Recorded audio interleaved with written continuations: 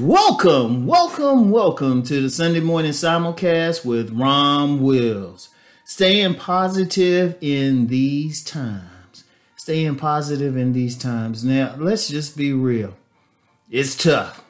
There's so much going on, and it's hard to speak with someone and they just give a positive outlook on everything going on. It's very hard. It's very hard. Even as positive as I can be, I'll be looking at some things like. But you know what? You still got to stay positive in these times, despite everything. Yeah, we.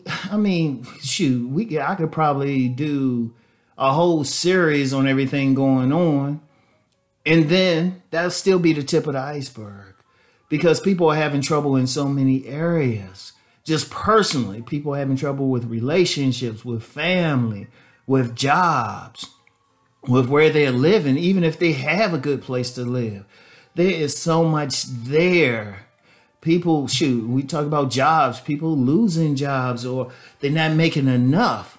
And they could, shoot, they might have savings that are being eaten up. I mean, there is so much. I mean, well, at least where I'm living, the gas prices look like they're going down, but I haven't noticed the same thing with food prices. And that's just on a personal basis. Well, I, I don't even want to get into everything happening uh, in the world itself. It's like just pick one, you know, just pick one. There's so much going on in the world, it's crazy. But here's the thing regardless, you still got to stay positive because one, yeah, for everything bad happening, there's something good happening except it doesn't make the news like that, or it makes the news after then they done told you about like six other things that's going wrong. But say, oh, at a different story, but you're still thinking about those six things. Thing is, we got to start focusing on that one thing, and there's actually more. And the thing is, work to stay positive. The best way to start is not to look outside of yourself. That's the first thing. Don't look outside of yourself because well, quite frankly, you don't know what's going on outside. There's so many things.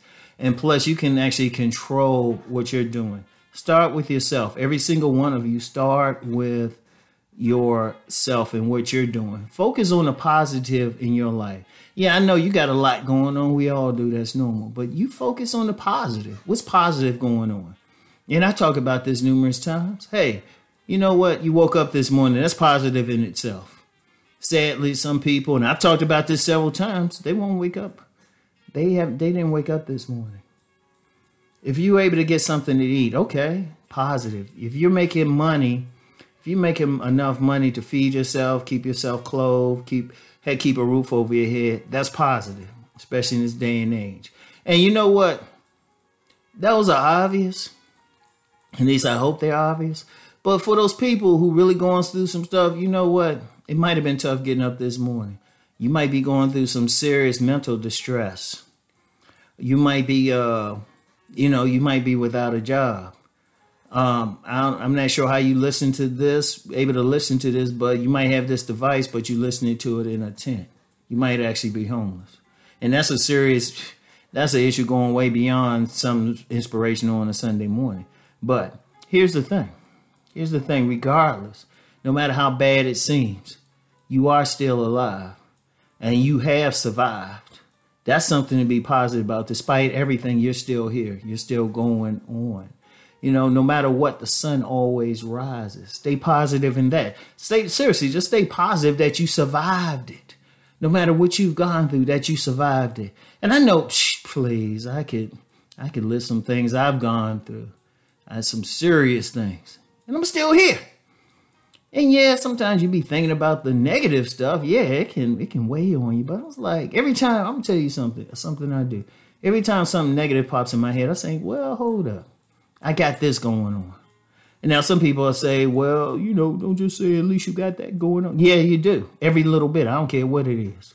I don't care what it is. If you got something positive going on, stay there. Now, let me be real about it too. You don't want to be in a position where you're ignoring the bad things. No, you still got to pay attention to them, especially when they're affecting you in everyday life. My thing is this pay attention to it, but work to figure it out. And part of working to figure it out is okay, focus on the positive. You feel good. It's like, okay, I got all this. I can solve this other thing. Think about the times in your life that you've overcome something. That's a strength right there. You have that ability. That shows you have the ability. Apply to your situation now, especially in these times. Because, see, here's what happens every time a single person shines that light, shines that light, is that point of light. Every time it affects other people, and it can be contagious. You know, just feeling good, saying hi to someone or acknowledging someone, it might help them. And then when they're feeling good, they can help the next person.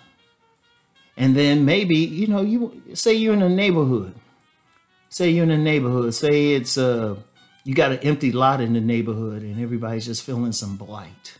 You know, everybody's feeling bad and down. And I've actually seen this happen in a few places, or read stories or seen news stories about it you might get one person feeling good, say, you know what, I'm gonna clean up in here. And then somebody else see see that person cleaning and they come in and join in.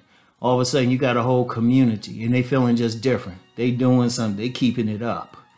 That's that positive. See, being positive can be contagious.